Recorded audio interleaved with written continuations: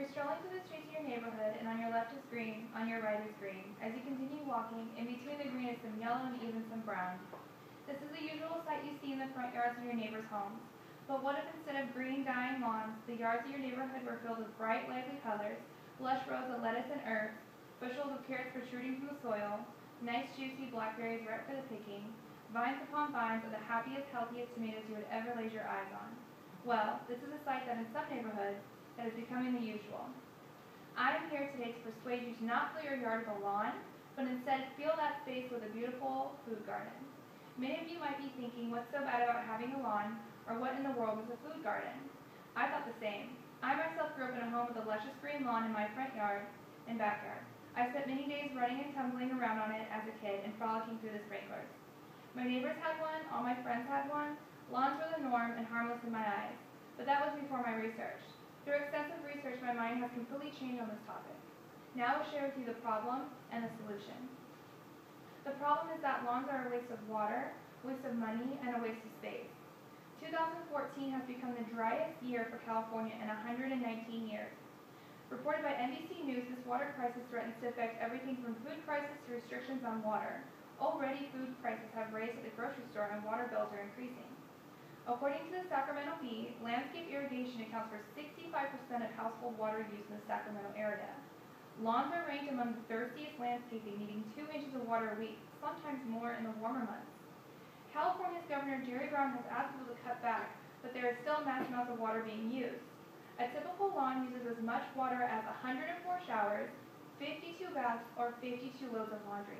So you have to ask yourself, would you rather have clean clothes and clean kids, or a green lawn? According to the University of California's Department of Agriculture and Natural Resources, a 500 square foot of lawn requires 2,800 gallons of water each month, but homeowners sometimes use up to 5,000 gallons for their lawn. A three-person family home uses about 150,000 gallons of water yearly, and 51% of that water is used on the lawn. Los, Los Angeles residents use 152 gallons per day.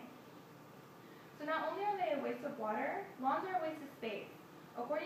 United States Census Bureau, there are 10 million people living in Los Angeles, and there are 3.5 million housing units in Los Angeles alone.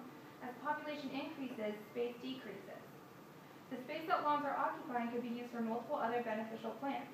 In Los Angeles, there are over millions of square footage that is occupied by lawns. So not only are lawns a waste of space and a waste of water, they are a waste of money. According to HomeAdvisor.com, in Los Angeles, the maximum cost of a lawn is up to $800 but most homeowners spend 250 to $400 on their upkeep of their lawn. This money could have been put towards something that could benefit you and your family other than just having an appealing lawn. Americans in total spend $6.4 billion a year on lawn care. With families using 51% of their water usage per year on their lawns, they are throwing hundreds of dollars away on water bills just on their upkeep.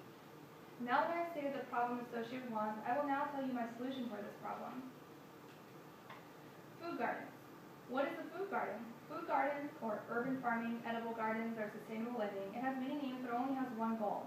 That is for people to start the practice of growing food wherever they have room to grow it. According to realfarmacy.com, people all over the nation are starting to practice these urban farming techniques and are growing their own food and herbs wherever possible in an attempt to live healthier lives. Food gardens use less water. According to an article written by denverwaterblog.org, How to Grow More and Use Less, reports that hand-watered gardens use an average of 9 gallons of water per square foot compared to that of over 18 gallons per square foot of grass. According to Passadus.org, water harvesting can be done to save water. Water harvesting is the usage of gray water, which is water that has not come in contact with sewage, like water from your sinks, showers, and washing machines. This water can often be used for landscapes. Gray water reduces the demand for new water supply. Laundry water to landscape reuses approximately 3 to 6,000 gallons of water per year, and shower to landscape recycles and saves approximately 5 to 7,000 gallons of water per year per person. Plants in your food garden have deep root systems that allow them to survive the hotter days and not need as much water. Implementing drip irrigation systems throughout your garden will reduce water usage by 50%. So not only do food gardens save you water, they save you money. According to a Gallup poll, the average American spends $151 a week on food, and Americans with higher incomes, $180 a week. According to the Natural Resource Defense Council, amount of food wasted by an average household of four is estimated to range from 1,300 to 2,200 in annual losses. Fresh fruits and veggies account for twenty-two percent of that waste. With food gardens, you wouldn't be spending that much on groceries per week, and also if you had an overabundance of food, you could share it with your community. If you couldn't share with your community, you could take the rotten food and make it into compost to further enrich your soil to make sure your crops will keep producing bountiful amounts of produce. A typical garden plot can produce more food than one family could eat, which is about 170 pounds. So not only do they save you uh, water and save you money, they use space productively. Food gardens contribute not only to yourself and your community, but wildlife as well. JustFood.ca lists some of the productiveness that comes from having a food garden. Productive use of lawn space by growing foods such as vegetables, fruits, and herbs diverts water from grass into something that can be eaten. A very, it's a very safe and healthy way to grow nutritious food with no need for pesticides, herbicides, and chemical fertilizers. It enhances biodiversity and attracts pollinators. It allows for experimenting with varieties of food that cannot typically be found in a grocery store, and it can be used as a tool to educate children about growing their own food and connect them to where their food comes from.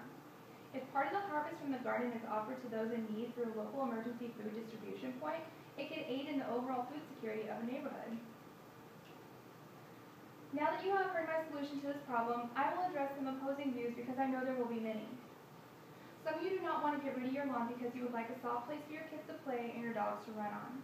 This is very understandable, and I'm not asking you to fully remove your whole lawn, but maybe start with just a portion. Any reduction in your lawn is a positive move in the right direction. Also, according to LAParks.org, Los Angeles alone has over 420 parks and dog parks sprinkled throughout the city. Some of you might be wondering how much this is going to cost you. How much it is going to cost you varies on the size of your garden, if you purchase seeds or seedlings, and how many tools and accessories you are going to need for your garden. According to an article on SparkPeople.com calculating the cost of growing your own food, fertilizer for your soil, soil costs about $20, and most places will give it to you for free if you pick it up yourself. But it is a good idea to start your own compost pile and use leaves, which are free, and in about a year, you won't even need to worry about buying fertilizer. Most seeds cost a couple of dollars for a pack, and each pack usually has 800 to 2,000 seeds. If you use half those seeds, you'll be spending less than $200 than if you had bought those mature veggies in the store. And if you buy organic, that savings skyrockets to 300 So yes, gardening is an investment, but the startup price is worth it for the money. You will be saving growing your own produce. Some of you might be wondering how much time this garden would take. Our time is valuable and everyone is very busy. With that being said, the hour to two hours you spend in the grocery store and traffic could instead be used to spend time in your garden. Again, the size of your garden definitely influences how much time you should spend in it. But a nice little startup garden would take maybe about 30 minutes of your time a day, maybe an hour. So in conclusion, I have shared with you the problem with front and backyard lawns, the solution which is to replace those lawns with food gardens. Hopefully I have persuaded you to view lawns differently and think about replacing those lawns with your own food gardens. You don't have to start with a whole garden, but start with something little, like a potted herb plant, or grab a bucket and fill it with soil and plant some tomato seeds. If this idea is adopted by you, you can share with those close to you, and then those close to you can share with others, and so on and so on. Imagine if you and all your neighbors grew your own food, you all would have bountiful amounts of goods and an endless supply of fresh fruits and veggies. The urban farm farming movement is on the rise, and I hope you decide to join this movement. This is a revolution you should be a part of, so let's connect ourselves to Earth and our food and start growing.